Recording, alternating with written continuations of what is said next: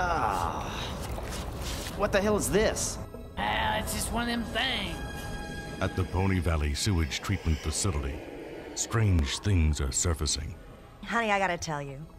When I first looked into those two pairs of baby blues peeking out at me from that bottle of denatured alcohol, I thought of you.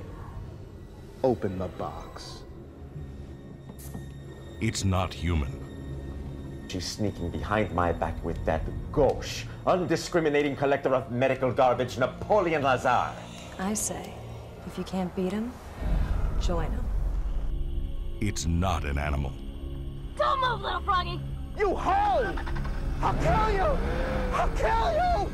Come back! In fact, it's like nothing you've ever seen before. You two want to be left alone? I think we do.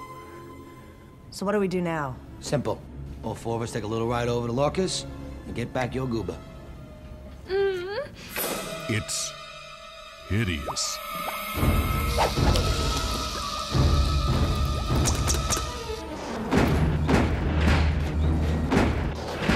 No one is leaving here until my specimens are returned.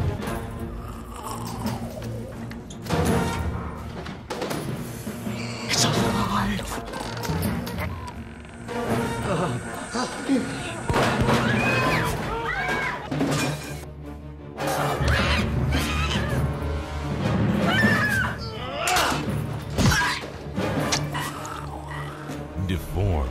I want my specimen back! Devious. Depraved.